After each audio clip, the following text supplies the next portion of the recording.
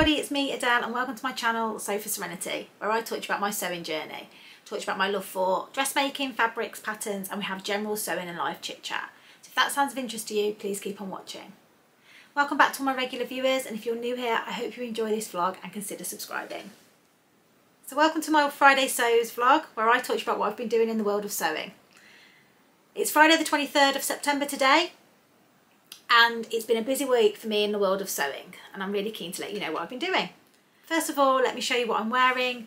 I keep forgetting to do this, so I'm trying to get in a good habit of it. I'm wearing the Jarrah sweatshirt from Megan Nielsen. I've made the tie version, and it's in this mustard colour, cosy colours sweatshirting, which you can see has like these specks in it, which is beautiful. I've got some grey and some um, like wine colour as well, which I really would like to make don't think I've got enough for a whole outfit, but I was thinking of doing some kind of colour blocked um, jumper or cardigan. So yeah, it's really, really comfy and it's definitely cosy. The main priority last week was getting my dresses that I had to make up for my Project Dress a Girl. So this is where I was making six dresses for the Project Dress a Girl challenge, which is currently being run by Mary Sews over on YouTube and Instagram. And she is the um, ambassador for the sewing community around this. And basically you just had to sew six dresses, um, sew on a label and get them sent off to your ambassador in your country. So I agreed to do six.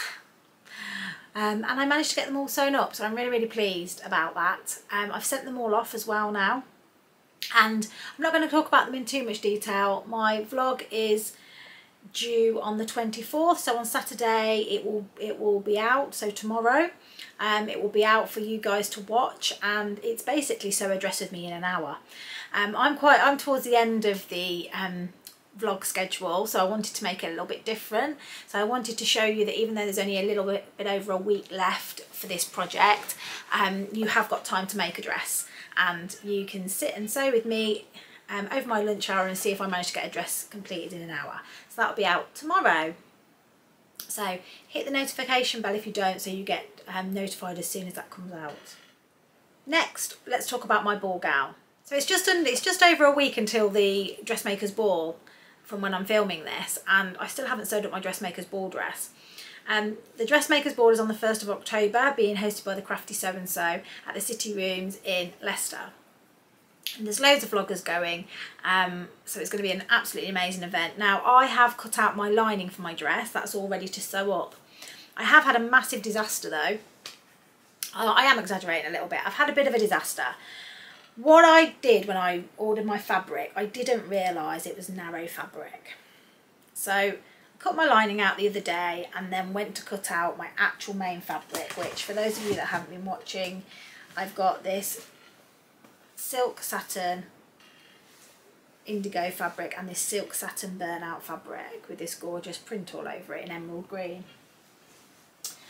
Now they're both narrow fabrics and because of how the dress is constructed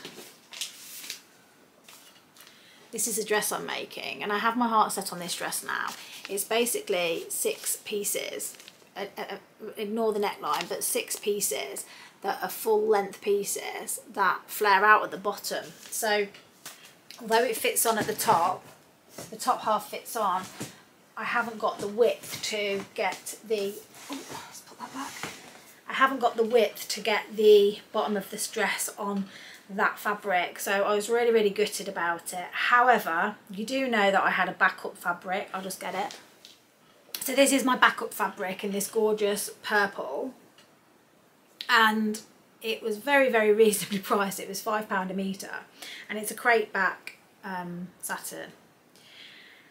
And I've got plenty of this and it's wide enough. And it was from Crafty Sew and Sew so I'm going to make the navy lining will still be fine with that as well um, I'm going to make up my dress in that, um, which is a little bit disappointing because I had got my heart set on this burnout silk satin.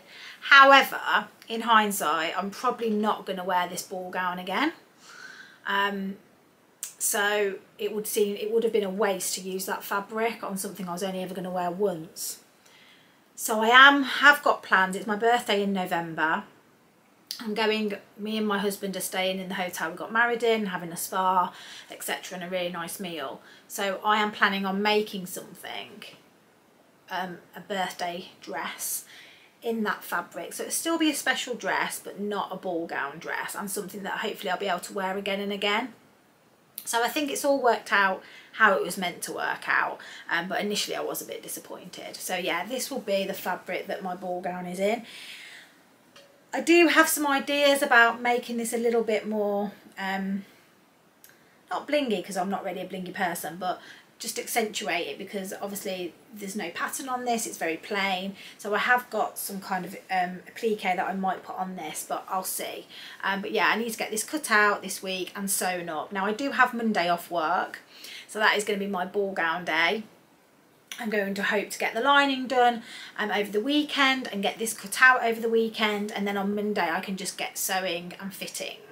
Um, because there is going to be need some alterations to the um, how I sew this together to make it fit. So yeah, there we go. This is what happens in the world of sewing, isn't it? So yeah, never mind. But this is my dress those you haven't seen. I've done a twirl, as you know, and I'm really can't wait to get cracking and hopefully this is everything that I imagined it would be. So yeah, that was my drama with my ball gown. Okay, so next up I have also finished a garment. I had, I said in my last Friday sews that I was making the Marnie by Tilly and the Buttons. For those of you that haven't seen it, this is gorgeous um, I would say boho style um, smock dress and, and shirt. I've made the dress version and I made it in a fabric that I got from, from Fabric Godmother's Dream Wardrobe. And it, I'll just turn the um, camera around because it's up on the mannequin and I have got a picture of me so I will put a picture of me in it because I'm wearing it to work um, so I'll be able to put a picture in of it and I'll just turn the camera around now. So here we go. Uh, this is my Marnie. I'll just um, bring it a little bit closer so you can see the lovely detail of the fabric. So it's a lovely ditzy print with, I'm really loving the pink and the blues and the oranges together. And I've gone for the frill version with the frills down the side and the normal neckline, but you can add um, a ruffle neck. You can do pin tucks as well, um, but I just chose to do this one just because it was a busy print and I didn't think the pin tucks would really come up very much. And this is definitely just my style. Now the only thing I'd do differently next time is I would have doubled up and the fabric on the ruffle because you do get the white of the fabric there. And I had the intention of doing that, but I just couldn't, I don't know what I've done with the scraps of this fabric. So I cut everything out was to put my scrap leftovers somewhere. Um, and then when I came to do the ruffles, I remember thinking, I know Rachel from Stitch Up always says about doubling up the ruffles so that you don't get that wrong side of the fabric. Um, so I decided to do that and then could I find the fabric? I couldn't find it anywhere so unfortunately I just had to go with it. Um, you know, it's not the end of the world, but next time I definitely will do that. It's got a lovely yoke at the back and I've got this button on. I'll just zoom in on the button. So you can see this lovely gold button here, which was just a one-off that I had in my stash. And it's got a Rolo loop that's, that's sticking it all, that's attaching it together. It's all gathered here gathered at the front and then gathered sleeves and then you've got this I don't know what this sleeve is called is it called a bell sleeve I don't know um, but that's gathered in there as well and it's just really really nice and comfy. Now it is a little bit short than I would like. Um, I probably took a bit too much off the length but I'll be wearing this with tights I would imagine um, or leggings so I'm not too worried about that and boots. So yeah. Oh and then the other thing is I did put a tag in labelling if I can find it which says oh which says one just a cute little label there. So yeah that's my Marnie. I'll just turn the camera back round. The Marnie is a really really lovely pattern. Tilly and the Buttons patterns are absolutely fantastic. Easy to follow. Um, the sizing I made, made the size 3 now, if I strictly went on my measurements, I would be the size 4. Um, but when I looked at the finished garment measurements, it's got so much ease in it. It's got like in the bust, it's got 14 inches of ease. So I actually, in the waist, you've got 20 inches of ease, 22 inches of ease. So for me, it was a no-brainer to go for the size three, which is normally what I am in Tilly and the Buttons. Um, and it's very size inclusive, 6 to 34. Instructions are really well laid out, obviously because there's different versions. It will say for the version with tucks, go to this section. Um, there's always tutorials on how to do some of these new techniques if, if you haven't done them before. So I really like that about Tilly and the Buttons. Really lovely pattern. I want to make the pin tuck one in the dress version um, but with a chambray I've got a really I've got a couple of I've got a couple of chambrays if, let me just see if I can get my hands on them yeah I've got this one so this is a really nice I would say it's a denim but it feels like much lighter and it's this from Beyond the Pink Door it's this denim but it's got like an orange orange like thread running through it you see that? That's the reverse side. So yeah, it's more like a chambray weight, I would say, but it was described as a denim, so a very lightweight denim. Um, I think I've got two metres of that, so I don't know if I'd have enough actually. Oh yeah, it's saying it needs three metres of fabric, so I mean I might be able to get it out of this. I mean, I definitely got that one out of two and a half, less than two and a half, um, because I only had two and a half meters of that fabric. So I'm hoping I could get it out of this one because it's not directional or anything. I could be quite clever with my um, pattern matching or whatever you want to call it. Sorry, not pattern matching. Get, um, you know, pattern Tetris. I should be able to do it. So there's that one. Or the other one that I got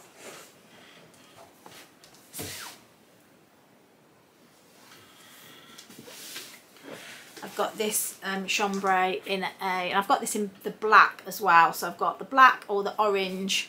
So I'd probably go with the black one actually because this is a bit more summery and I do have designs on a jumpsuit for this.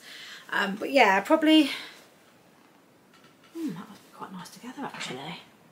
Hmm interesting. Anyway, that is a plan, but not a plan I'm doing anytime soon because I literally got so much to do. But I just thought I wanted to show you. That I thought that would make you'd be able to see the pin tucks really nicely in that fabric. So yeah, if you haven't made the Marnie yet, definitely make it. Definitely worth it. Right then, so the other thing that I have got cut out this week is my heather blazer. And as you know, I've made a twirl of my heather blazer in a purple cotton linen mix look fabric.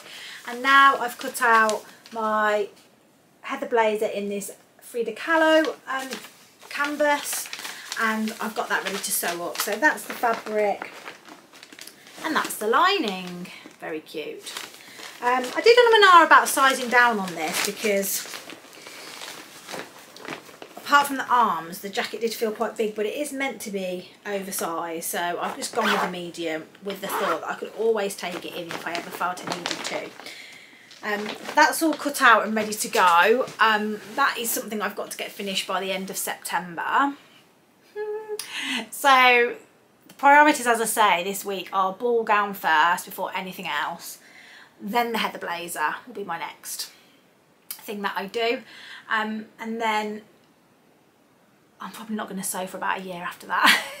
I'll be exhausted. But no, they are my two things that I am my priority this week. And the other thing that I did get this week, which I'll link a card to, is my Fabric Godmother box. It's an absolute beauty. Um, so if you want to check that out, it's only a very short vlog, an unboxing vlog. Um, you, I'll link the card up here and you can head over to the Fabric Godmother unboxing. What else have I've been up to this week? So I have lost three pounds. So as a lot of you know, I've been trying to lose weight um, because I've put on about a stone and a half since I got married um, probably a little bit more actually than that and yeah this week I lost three pounds so I was really really happy about that.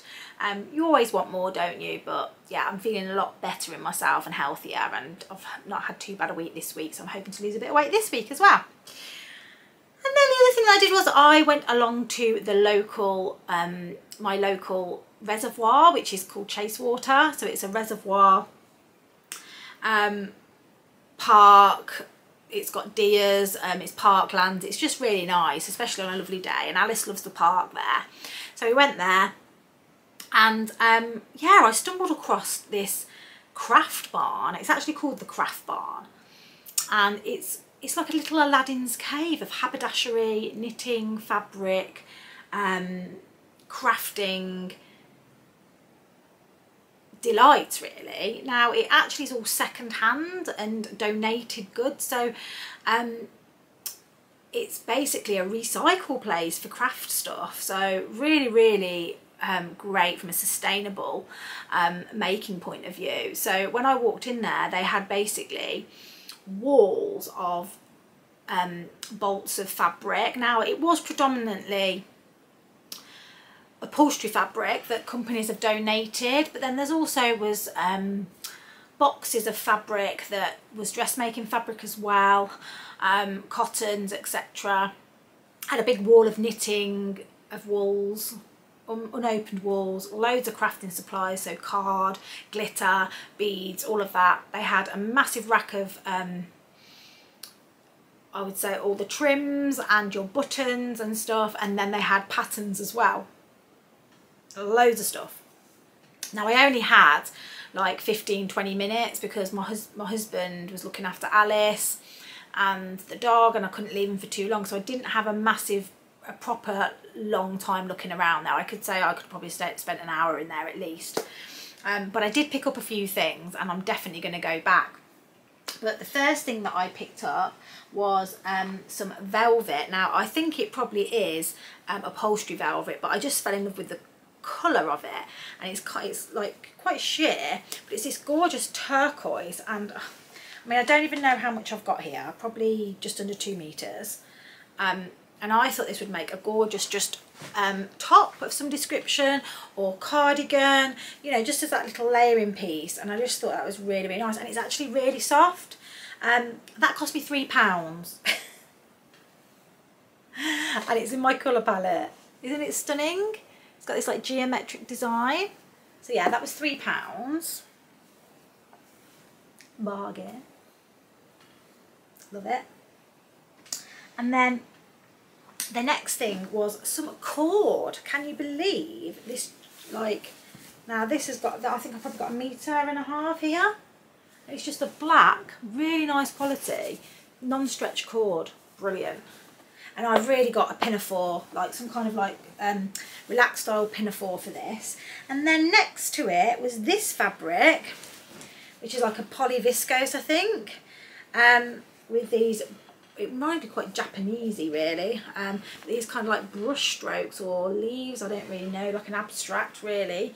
Um, there's probably about just over a metre there, meet 1.2, 1.3 and I just thought a pinafore in this with this underneath would look really, really nice for the winter. So a little um, just t-shirt maybe, blouse um, that goes nicely under this would be really nice. That was three pounds, that was three pounds. Yeah, amazing. And then I did get a couple of patterns as well. Now with the patterns, I was really annoyed because my husband kept ringing me saying where are you? So I did literally just have a quick scan but there was this cardigan pattern which is McCall's like waterfall cardigan um, and I really like um, the main view um, and that was 50p so I just thought bargain.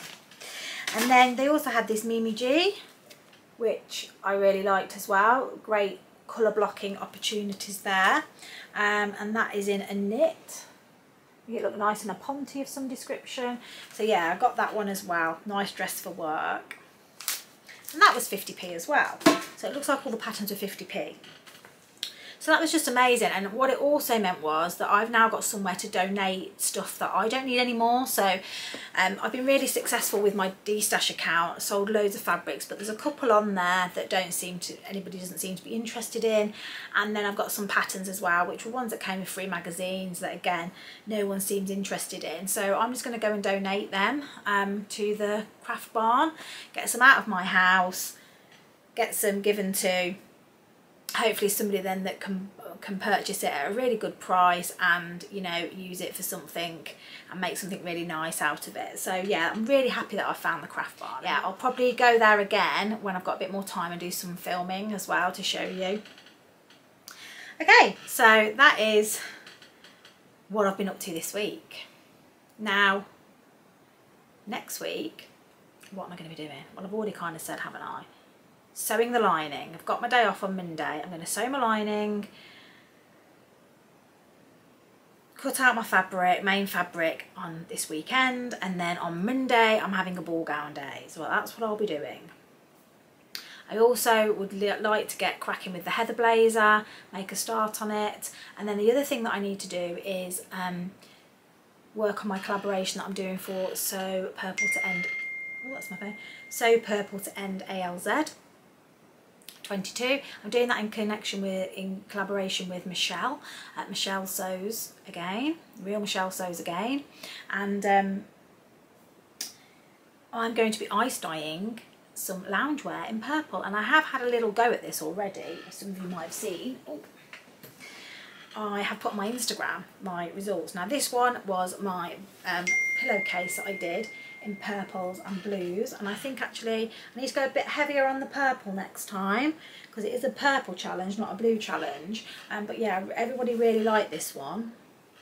And then the more aubergine tones was this one here but not as many people like this but I really like this corner of this. So I think I just need to have another practice maybe with not as much grey. Um, but yeah really liked that as well but it was a really fun process and really addictive. I will be vlogging about it when I actually do the real thing and in my vlog that is out on the 28th of September I'll show you how I went through it from start to finish because I'm a complete newbie to ice dyeing. So I'll tell you how I kind of went about that and what my experiences are in a bit more detail but yeah there's, there's those three things I need to get done this week if anything's going to um, take a backseat out of those plans, it's going to have to be my Heather Blazer because the other two have got deadlines um, that aren't movable. Um, but I might speak to Claire and Crystal, um, who I'm doing the collaboration with, just to say if we could have an extra week would be really good. Um, I'm sure they'll, I'm sure they'll let me. So yeah, so that is my plans for this week. And um, alongside that, I probably will get my little Miss So-and-so um, so special subscription box, which as you know, I need to film and I always like to make that up as well so I can send you, so show you the full vlog. Um, so yeah, it's going to be busy, overwhelming, but it's a good job I love sewing, isn't it? so I think that's all from me for now. I hope you've enjoyed this vlog and if you have enjoyed it please can you click the like button if you don't subscribe already please can you consider, consider subscribing please and if you want to um, support my channel further, you can buy me a coffee with my Ko-fi account. All the details are in the um, blog below, uh, in the comments below. Um, and yeah, I appreciate any of those ways that you can show your support would be really, really um, grateful to you. Okay, I'll see you all soon. Happy sewing. Bye.